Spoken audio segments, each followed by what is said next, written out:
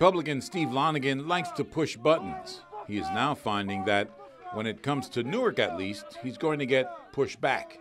At a press conference in the city yesterday, Lonegan tried to call out his opponent, Cory Booker, for letting this property Booker owned until recently to fall into disrepair.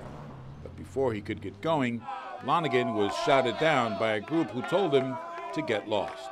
This building is a disgrace. Cassandra Dock, an anti Booker activist who was with Lonegan at the press conference yesterday, said she was disappointed in her fellow Newarkers. I found it to be offensive, the way those gentlemen were behaving yesterday, without allowing Mr. Lonegan to, uh, to uh, present the facts.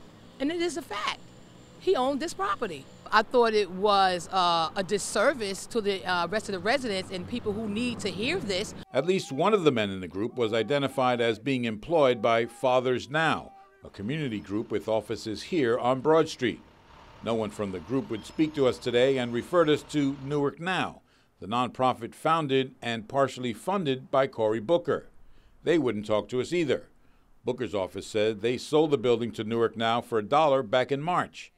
Donna Jackson, another Booker critic, said she applauded Lonegan for drawing attention to the city's problems. Unfortunately, in this community, we've been hurt so long that um, some of us believe the craziness. Those same young men that were standing here yesterday, I bet you every one of them, probably with the exception of the young man who works directly for Mr. Booker and is in his favor all the time, could probably use a place to live. Lonegan laughed off the incident today. Do we have any visitors from Newark now or he also dismissed charges by Booker that the former Bogota mayor uses code language like crack house to reinforce negative stereotypes of Newark. Crack house, methadone, amphetamine house, heroin house, you know, whatever drug. He, he's the gentleman who invites drug pushers over to his home. Lonegan was shouted down in similar fashion a couple of weeks ago when he held a press conference during the city's recent rash of homicides so yesterday's reaction did not come as a surprise.